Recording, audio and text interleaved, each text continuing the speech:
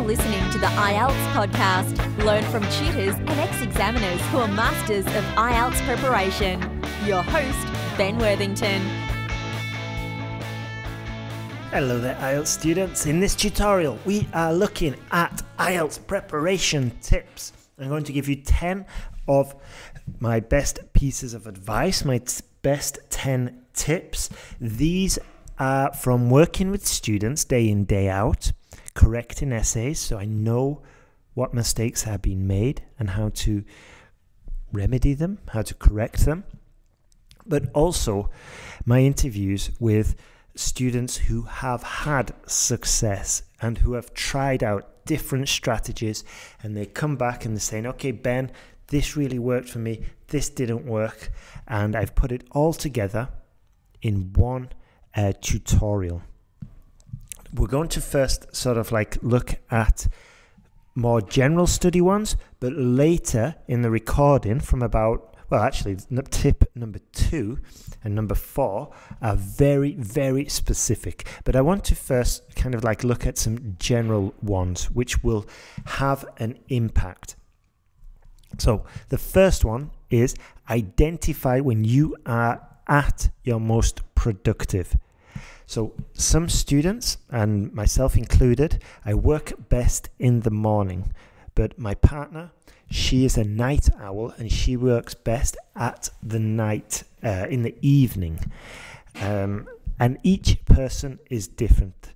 So, so, well, with some people, they don't really, they can work at any time, but generally, most of the population either falls into early morning, early birds, or night owls. Find out which one you are, then allocate that time, find a space where there's no distractions, put your phone in flight mode, and pedal pedal to the metal, as we say, or as they say in the US, which basically means just focus. I find setting a timer and just sitting down and doing 50 minute blocks works the best.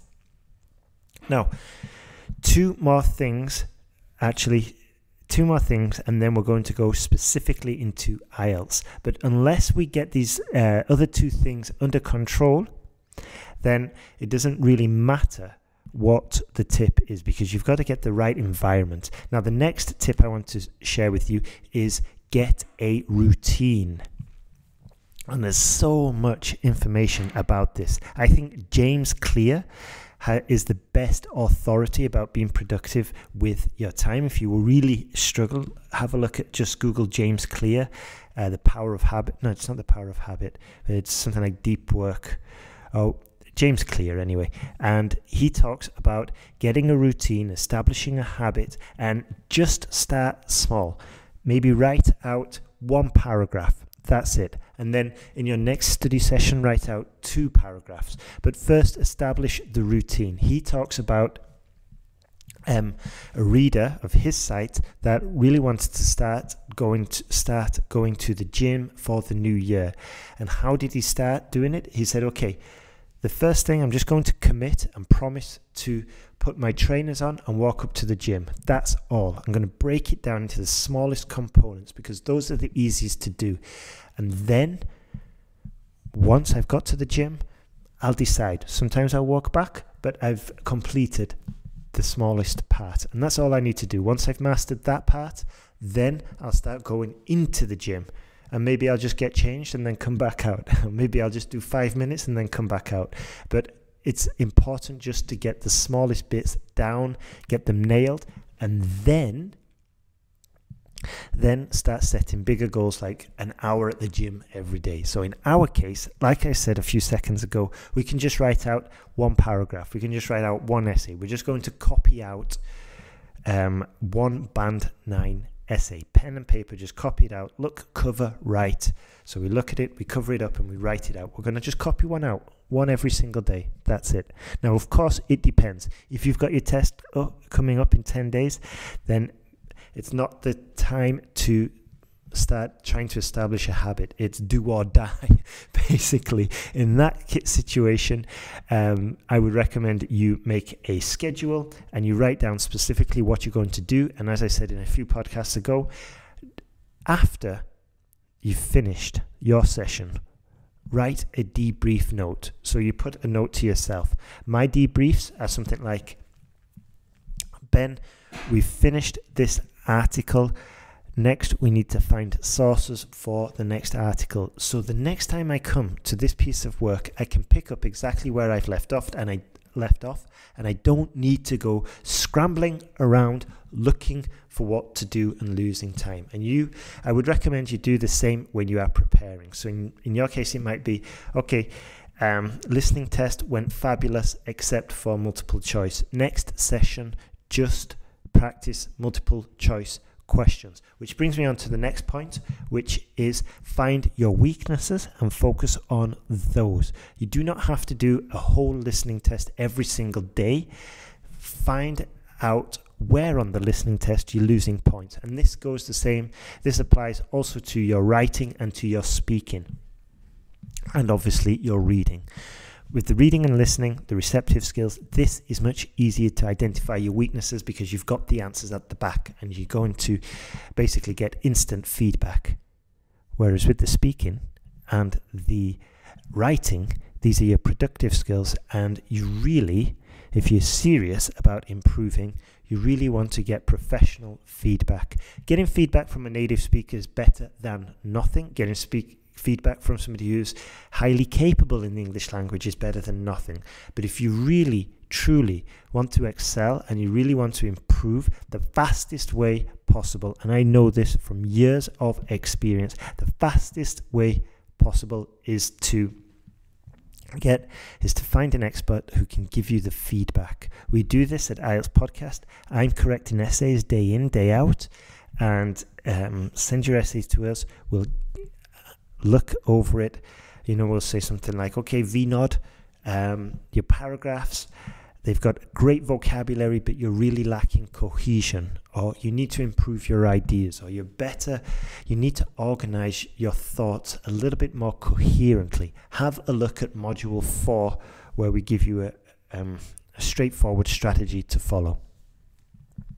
So, just to summarize, get feedback. You're going to uh, improve much, much faster. Um, the next one, write down your objectives. Okay, so this is closely related to the debriefs that I was mentioning before.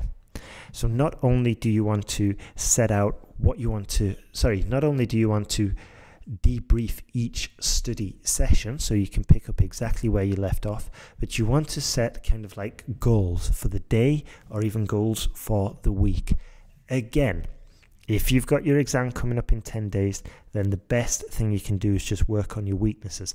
But if you've got your exam coming up in three months, then it's really advisable to get a study planner in place.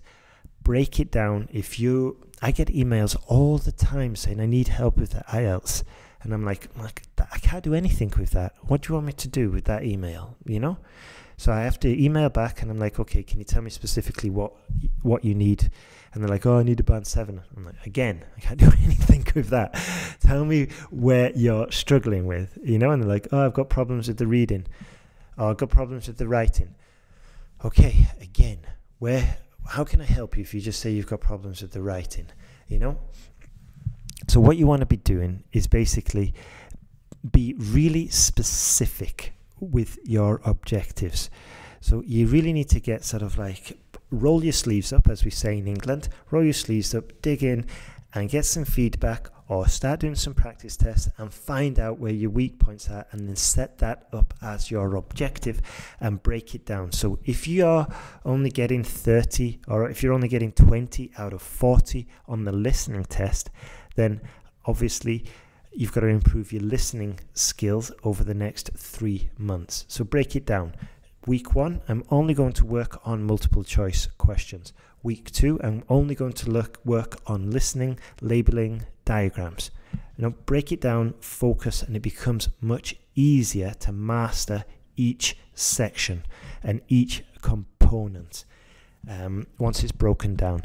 Also, as I said, when you are getting help, when you are getting feedback, this accelerates the process much um, you, you can just move along a lot faster, especially if you're following an online course where it's all structured. So you're basically working module one, week one, uh, modules one, two, and three for week one, modules four, five, and six for uh, week two. And just having that structure will make you a lot more productive.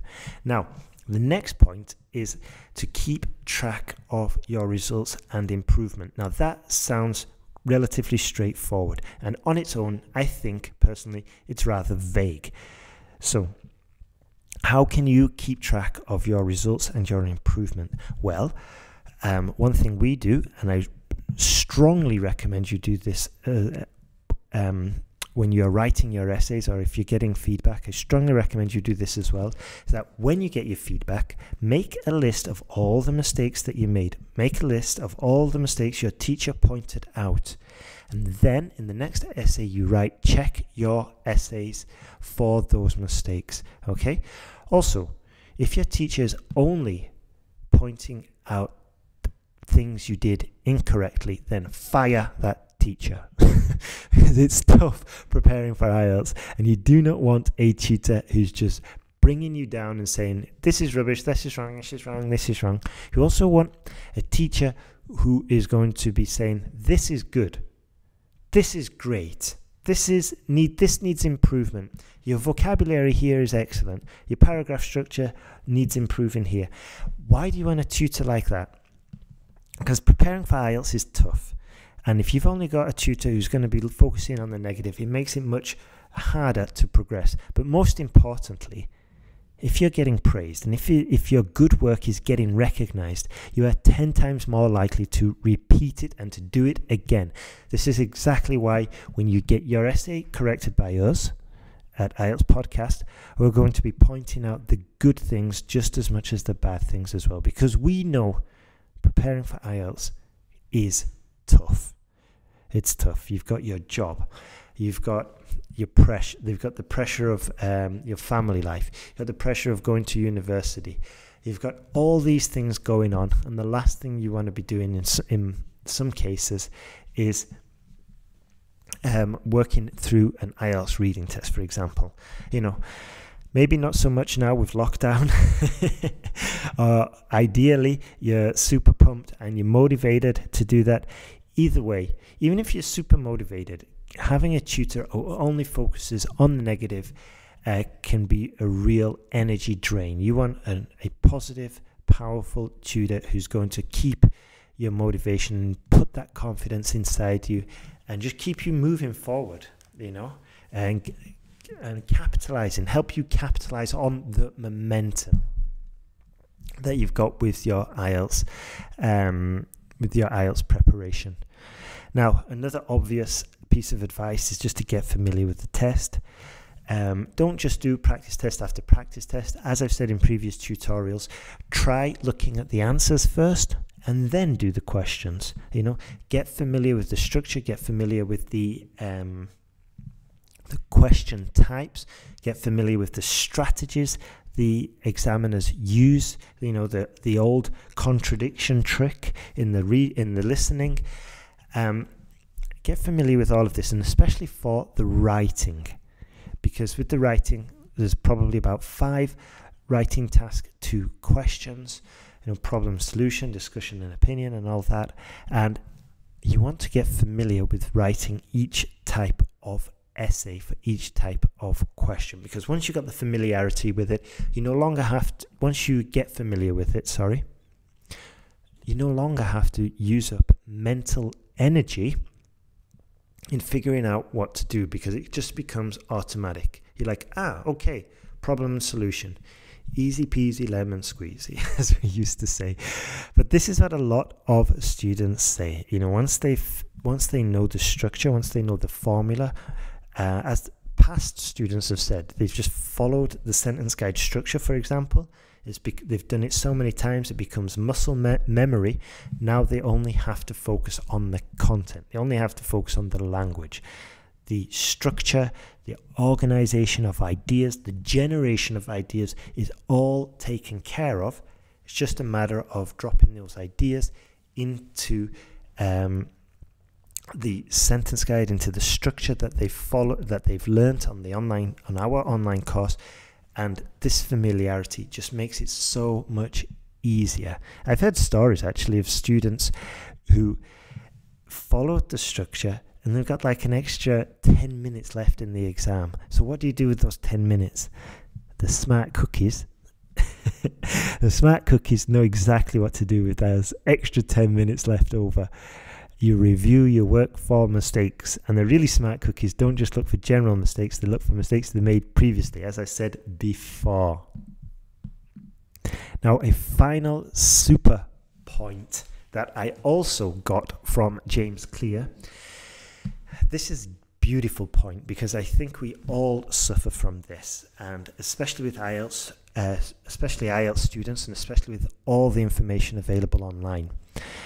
When you are preparing for the IELTS, it's important to put pen to paper. I know a lot of students get frustrated, get caught up, get stuck, and get confused because they're watching different tutorials. They're watching my tutorials, the, they might be going to other sites and watching how Ryan writes an essay, for example, and then sending in Ryan's work to me, uh, Ryan's style essay to my uh, correction service and the student really gets confused. So, what I want to say is that um, choose kind of like one school and work with that school. But most importantly, do not do not get caught in analysis paralysis. I get emails all the time saying, "Ah, this so and so says I should do a five paragraph essay. So and so says I should do a four paragraph essay. Um, and the answer is like each tutor is going to have their own way of teaching. They're going to have their own strategies that they've tested out. Okay, and the same goes for me. And um, the important thing is just not to go researching, researching, researching, researching, and watching tutorials and reading blog posts. The important thing is to actually take action and start writing the essay and then getting feedback. And finally, just choose one school, just choose one tutor and go with what they say. And not only will you minimize the amount of research you need to do, you're also going to minimize the amount of confusion and finally, most importantly, you're going to be spending more of your time in the action stage rather than the research or activity stage. And that's where the learning really happens. The learning really happens when you're speaking the language or when you're writing the language and getting feedback. It's not when you're reading blog posts or um, watching YouTube tutorials. Okay, so find your tutor, stick with them, and follow with follow what they say. That's it from me today. Um, I forgot to introduce myself, so as you probably know, my name's Ben, and it seems weird doing it at the end, but uh, I'm from the UK. I haven't lived there though for about 15 years, and this is why I speak speak slight, slightly slower. I left Manchester and went to Spain, and in Spain I started teaching English, and I eventually um, specialized in getting results for IELTS students because week after week after week I was just getting more and more uh, students all wanting to prepare all wanting preparation for the IELTS exam. And yes, we um, I started interviewing experts, and I still do interview experts on pronunciation, on language learning, on academic writing. And I initially started this because I wanted to um, find out how to teach the IELTS, and this was like years ago. And I took the knowledge from these experts, I applied it in my own online course with my own students and I threw out what didn't work, I kept what did work, and this is why we've been able now to offer the Jump to Band 7 or its free IELTS course. We're so confident we can get you to a 7. If we don't, we refund you your money. So it's zero risk. So have a look at that at ieltspodcast.com on um, forward slash online uh, hyphen IELTS hyphen course, online IELTS course. Anyway, IELTS podcast, you'll be able to see it there. And also, we offer an essay correction service. And for listeners of this podcast and for those who subscribe to our newsletter, you can get it at an exceptionally attractive rate. So I strongly recommend you do that. And also, just one last thing I just remembered when you join the course, if you join in December, we're going to extend your access. Um, instead of 90 days, you're going to get the whole year. So it's probably a very good time to join us right now. Uh, you can buy the course and you've got all year to use it. Normally it's just 90 days, but if you buy now, you've got all year. So take advantage of that. That's only for uh, the month of December. My name's Ben. Thank you very much. And remember, get in contact if you're struggling. Ben at IELTSpodcast.com. Most importantly, remember, you can do this. You've got the strength. You've learnt your own language. There's no reason why you can't learn English. There's no reason why you can't pass this test. And go and work in the UK, go work in Australia, get your PR in Canada, become a nurse in the United States. Every week, we're getting students who pass Every week we're getting thank you emails, and I want you to be one of those students as well. I want you to have the success that they're having and just basically move forward in life. End this frustration. Okay, thank you very much for listening. Have a great day and keep on improving.